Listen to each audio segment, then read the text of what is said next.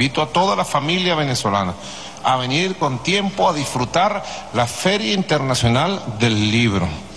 Quiero felicitar también a el escritor venezolano, una leyenda de la poesía latinoamericana, caribeña y universal. Se trata de Luis Alberto Crespo. Nuestro abrazo, compañero. Miren qué bello este libro que han editado con motivo de esta feria, Luis Alberto. Además, la portada ha sido diseñada por él mismo, con dibujos hechos por él. ¿Mm?